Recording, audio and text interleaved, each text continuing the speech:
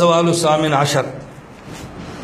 هل تقولون ان علم النبی صلی اللہ علیہ وسلم مختصر علی الاحکام الشرعیہ فقط؟ ام علی ام اوتی علوما متعلقتا بالذات والصفات والافعال للباری عز اسمه والاسرار الخفیہ والحکم الالہیہ وغیر ذالک فرماتے ہیں کہ تمہارا کیا عقیدہ ہے کہ نبی کریم صلی اللہ علیہ وسلم کو صرف شریعت کے احکام کا علم تھا؟ یا آپ کو احکام شریعت کے علاوہ اللہ کی ذات کے بارے میں بھی علم ہے، اللہ کی صفات کے بارے میں بھی علم ہے، اللہ کے افعال یعنی قدرتوں کا بھی علم ہے اور آپ صلی اللہ علیہ وسلم کو شریعت کے مخفی اللہ کے نبی کو حکمتوں کا بھی علم ہے۔ جس تک عام بندے کی رسائی نہیں ہوتی اور اسی طرح جو الہی حکمتیں ہیں، اللہ کے نبی ان کو بھی جانتے ہیں، تمہارا کیا اعتقاد ہے؟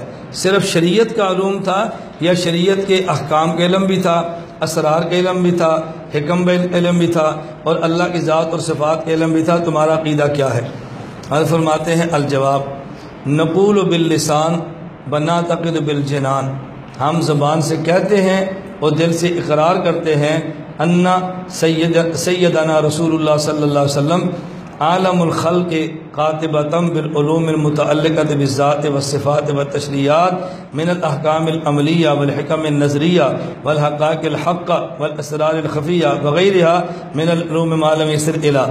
حضرت فرماتے ہیں کہ ہمارا اعتقاد ہے دل سے اور ہم زبان سے اقرار کرتے ہیں کہ رسول اکرم صلی اللہ علیہ وسلم پوری مخلوقات میں سب سے بڑے عالم ہیں اور آپ کو شریعت کے احکام کا علم بھی ہے اور حکمتوں کا علم بھی ہے، اسرار کا علم بھی ہے، راز مخفی ان کا بھی علم ہے۔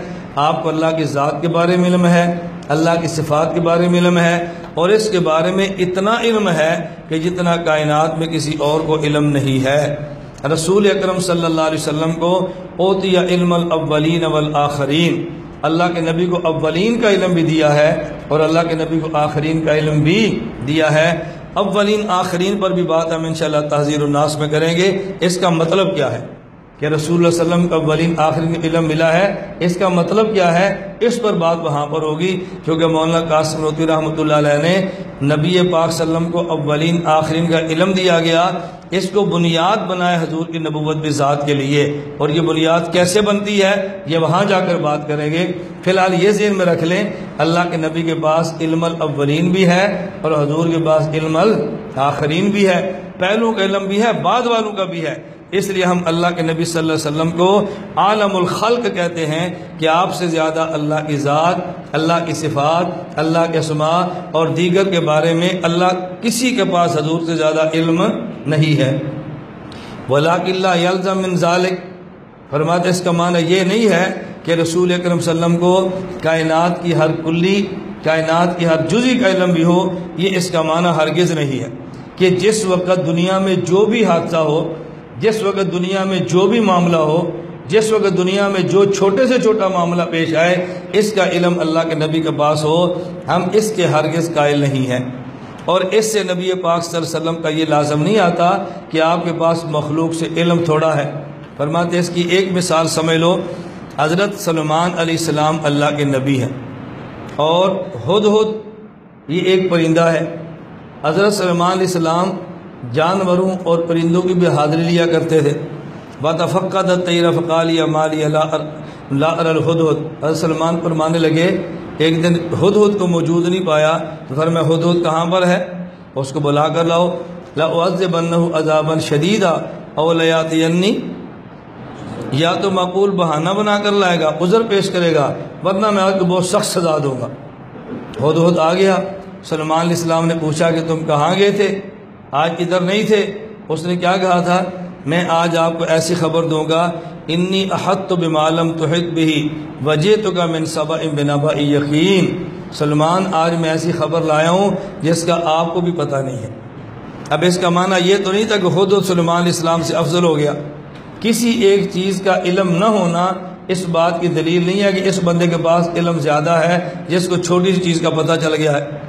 تو اگر کسی ایک جزی ایک حادثے کا اللہ کے نبی کے علم میں نہ ہو، اس کا معنی ہرگز یہ نہیں ہے کہ رسول اکرم صلی اللہ علیہ وسلم کا علم مخلوق سے کم ہے یا کسی آدمی کا علم زیادہ ہو گیا ہے۔ اب حضرت سلیمان علیہ السلام اللہ کے نبی ہیں اور یہ ضابطہ ذہن نشین فرما لیں کہ نبی جس قوم کا نبی ہو، اس قوم میں نبی سے بڑا عالم بھی کوئی نہیں ہوتا اور اس قوم میں نبی سے زیادہ حسین بھی کوئی نہیں ہوتا۔ نبی جس قوم کا نبی ہو، اس قوم میں نبی سے زیادہ عالم بھی کوئی نہیں ہوتا، بڑا عالم بھی کوئی نہیں ہوتا، اور اس قوم میں نبی سے زیادہ کوئی حسین بھی نہیں ہوتا۔ تو حضرت سلیمان علیہ السلام نبی ہیں، تو ہد ہد کا علم اللہ کے نبی حضرت سلیمان سے زیادہ نہیں ہو سکتا۔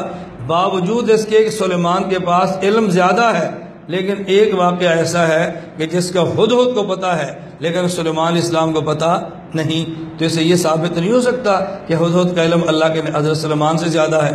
حضرت فرماتے، ہمارا عقیدہ ہے رسول اللہ علیہ وسلم عالم الخلق ہیں، لیکن اس کا معنی یہ نہیں ہے، ہر کلی، ہر جزی ہر واقع ہر نیک اور بد کا علم اللہ کے نبی کے پاس ہے۔